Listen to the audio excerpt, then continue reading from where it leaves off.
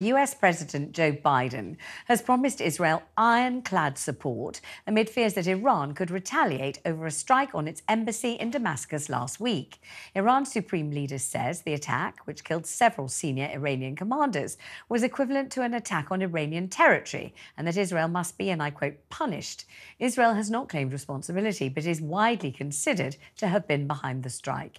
It's being reported that intelligence services in the United States and other allied officials believe a significant attack by Iran is imminent and could come in the form of direct missile or through a proxy like Hezbollah in Lebanon. Joining me now to discuss this, former British ambassador to Iran, Sir Richard Dalton, and Scott Lucas, Professor of International Politics at University College Dublin's Clinton Institute.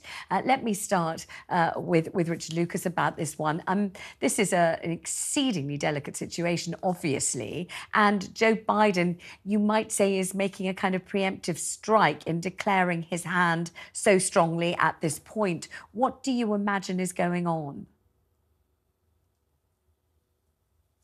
Sir Richard. Oh, I thought it was you were addressing Scott. No, I'm not. Uh, uh, what I think is going on is that the inevitability of a retaliatory strike by Iran is now being anticipated for the next few days. That may or may not be true the Iranians will require time to plan what they want to do. They have said that it'll happen, but not given any time scale.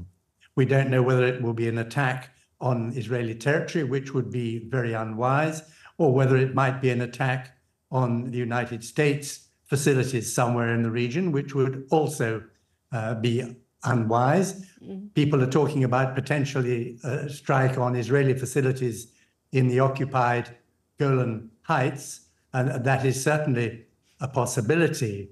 Uh, President Biden is undertaking, as you say, a, a strong message to Iran in, in, an attempt to damp down what has now become the closest cliff edge towards a regional war, which we have been approaching over the last six months, and maybe we're now looking over the edge at it. And, and your thoughts on the motivation behind Israel launching that attack in, in, in, Damascus, if indeed it was Israel that was responsible, as is suggested by almost all sources.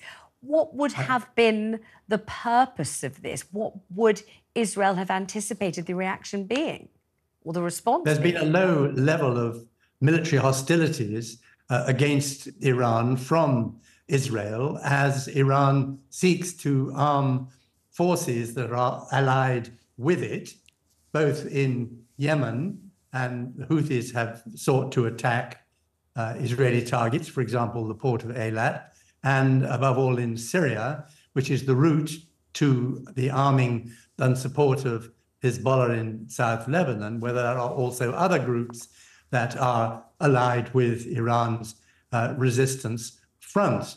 And attacks by both the resistance front and by Israel have taken place over, over years now.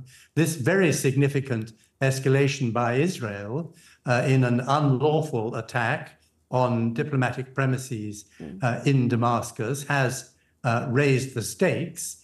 Um, I suspect that they saw what they would regard as an important target of opportunity when these commanders were gathering at that place at that time. Uh, and they thought that it would be a good idea to assassinate them.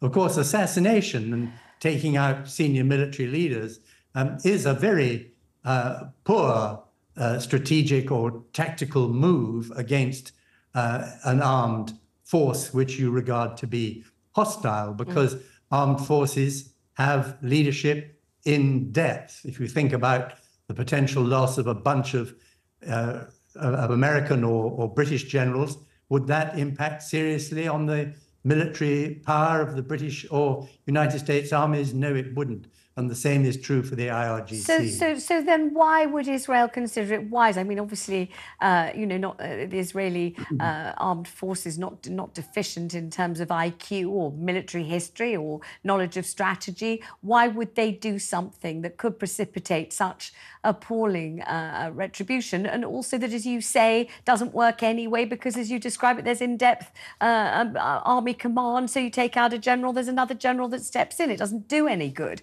So well, Why would they fail is, to appreciate that? This is the Middle East, isn't it? Uh, no bad deed goes unanswered uh, uh-huh. from any side. And uh, if you were to look at what's going on in the Middle East over decades from outside as a, as a, as a man from Mars, you would think that humankind had lost its wits with the way in which they use military force, the way in which they are trigger happy uh, even though, as uh, pointed out by a very senior United States Democrat Senator, uh, Mr. Kaine, I believe, uh, that much of what Israel's done over the last few months has indeed not contributed to its security, but rendered it more insecure. And, and when you say, you know, were uh, Iran to uh, retaliate and attack an Israeli city, and I quote, it would be unwise. Were Iran instead to attack an American facility elsewhere, it would be unwise. Unwise for whom and why? Unwise for Iran because although they have significant, what they call asymmetric military capabilities, they can't mobilize an air force or a bomber force, for example, but they do have uh, missiles and they do have commando type operations, which they can exert very considerably. Uh, but in a conventional war with Israel, which would naturally draw in the United States, Iran would be the big loser. So that is why it's always been regarded by Iranian policymakers as necessary to take armed action when attacked, mm. uh, but to render their retaliation uh, below the level at which they calculate that a massive retaliatory attack on their own homeland would take place. It remains to be seen whether, after a retaliation this time, that uh, strategy of theirs remains intact. Let me let me bring in Professor Scott Lucas. Uh, Scott, um, is it possible that by sheer force of rhetoric, President Biden can do something to avert there being a really hideous um, retaliation for what happened in Damascus? Well, certainly, this is, I think, the American approach, uh, and indeed the approach of other countries, including the UK. And that is that what you do is you raise the prospect of Iranian retaliation to try to preempt or deter it. In the US case, by making very clear, as Biden put, we are an ironclad commitment to defending Israel despite limited criticism of Israelis' open ended war in Gaza. And I think the Iranians kind of fed into that because a few days ago, uh, the Iranians, rather by a mistake or deliberate lie, put out the story that they had a message from the Americans that the Americans had told them, all right, don't attack U.S. personnel in Syria and Iraq, but you have a free hand, whatever you need to do with the Israelis. Now, Washington immediately pushed back on them. They immediately called this out, said, look, that's not true. And of course, what they then did is, is to reiterate if you do come after Israel, we will come back after you. I don't necessarily think an Iranian attack is imminent right now. Uh, I think Iran may carry out a limited operation. So Richard mentioned, for example, hitting an Israeli position in the occupied Golan Heights in Syria. I think they may do that as a demonstration attack. I think Iran's play right now, despite its rhetoric, is actually to go political and diplomatic by saying, look, we're the victim here, just as the Gazan people are the victims. You need to side with us. And it's notable that when the supreme leader spoke yesterday, he did say Israel must, should pay a price for what it has done with the killing of Iranian commanders. But he then asked Muslim countries to break economic and political links with Israel. In other words, Iran's play here is a direct military attack, they probably lose that confrontation. If they politically and diplomatically can isolate Israel and sort of drive a wedge between Israel and other countries, then they get a win out of this.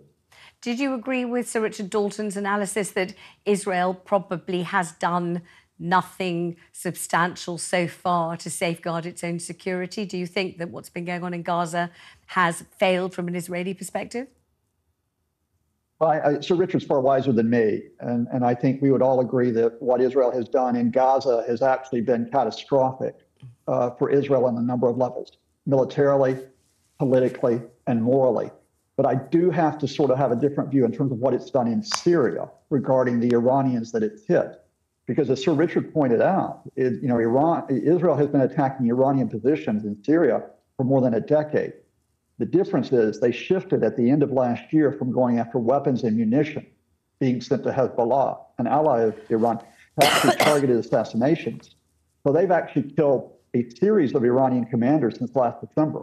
This attack on the embassy grounds was not the first. Iran's top commander in Syria was killed on Christmas Day, for example. And the Israelis are doing that because Iran has not been able to respond to those targeted assassinations.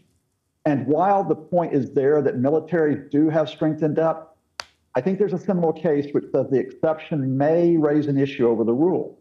And that is when the United States, whether rightly or wrongly, assassinated General Soleimani, who was perhaps one of the top Iranian commanders in January 2020, Iran has found it difficult to replace a commander like Soleimani.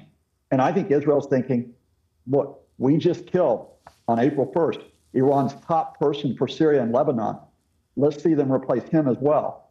I'm not justifying what the Israelis are doing, but from their point of view, if the attacks are taking out Israel, uh, top commanders without any cost being paid directly by Israel at this point, you keep doing it. Uh, and, and so, Richard, can I ask you about what you think might happen next? Obviously, I realise you have no crystal ball. I'm well aware of that. But you know, this this this conflict has been so distressing from whichever perspective you observe it, really, to people all over the world. How do you see it ever coming to any kind of conclusion, or what do you see happening next? I'm pessimistic. I think in the short term, there may well be a ceasefire agreement to cover uh, a release of hostages and a release of Palestinian prisoners held by Israel. Uh, but that looks as though it's unlikely to be linked to a permanent ceasefire. Uh, British policy, American policy appears to be to try and work from a limited ceasefire to a permanent one, uh, and thus to avoid uh, the uh, imminent invasion of Rafah, 1.5 million Palestinians in an area I was told the size of Heathrow Airport uh, with nowhere to go. Uh, that would be a humanitarian disaster, and Israel appears to be determined not to listen to advice that it should forbear and settle for what they have achieved already, which is a massive degradation of Hamas's military and political power. So uh, it's 50 50 whether there might be some cessation that lasts or whether we'll see a continued war for months to come. And, and, and Professor Scott Lucas, your, your view of what might be imminent or what might eventually bring this to a conclusion?